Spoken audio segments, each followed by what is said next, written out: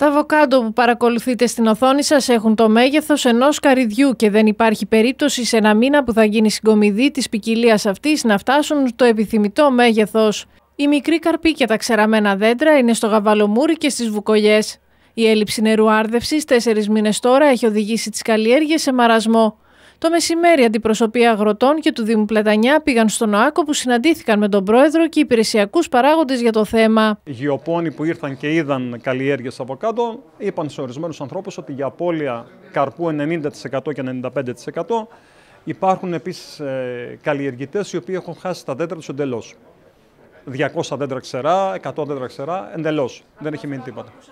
Ε, σίγουρα είναι ένα 30% είναι χαμένο στην καλύτερη περίπτωση. Από εκεί και πάνω άλλοι έχουν χάσει και 40 και 50 και σε ορισμένα δέντρα καταστραφήκαν εντελώς.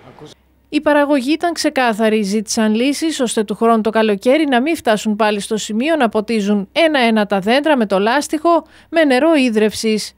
Όπως χαρακτηριστικά είπαν, για να κάνουν τρεις κλούβες αβοκάντο θα πληρώσουν 5.000 ευρώ.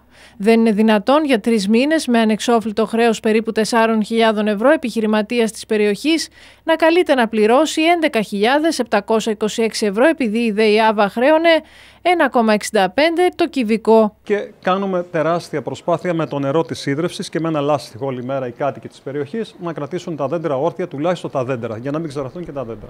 Εκεί είναι διπλή ζημιά, αλλά έπρεπε να σώσουν τα δέντρα τους. Δεν μπορούσε να γίνει διαφορετικά. Η ζημιά είναι βέβαια και από το χλώριο που συσσωρευτικά κάποια στιγμή θα ξεραθούν τα δέντρα να συνεχιστεί αυτή η κατάσταση και, δε, και ποτίζουν με χλωριωμένο νερό. Ο πρόεδρος του ΟΑΚ κατανόησε το μέγεθος του προβλήματος και είπε πως είναι μια δύσκολη χρονιά η οποία δεν έχει τελειώσει ακόμα καθώς δεν έχουν ξεκινήσει οι βροχές. Και η επόμενη χρονιά αναμένεται εξίσου ξηρική, είπε ο κύριος Νίνος, και δεν υπάρχει μελέτη που να υποδεικνύει στον οργανισμό το πού θα μπορούσε να γίνει μια τρίτη γεώτρηση στις βουκολιέ. Οπότε η λύση δεν θα είναι άμεση. Από τη συνάντηση αποφασίστηκε να γίνει μια σύσκεψη με τον Δήμαρχο Πλατανιά, στελέχη της ΔΕΙΑΒΑ και του ΟΑΚ την ερχόμενη Δευτέρα.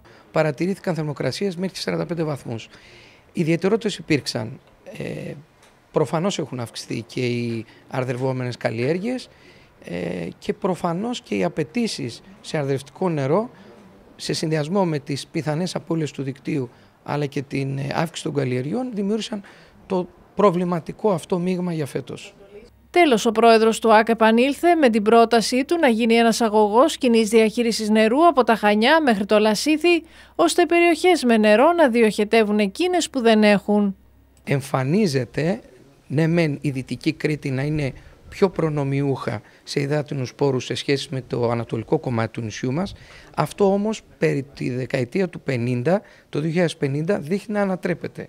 Δηλαδή δείχνει να έχουμε κατά περιόδους και στα Χανιά και στην ευρύτερη περιοχή της Δυτικής Κρήτης προβλήματα στην επάρκεια υδάτινων πόρων.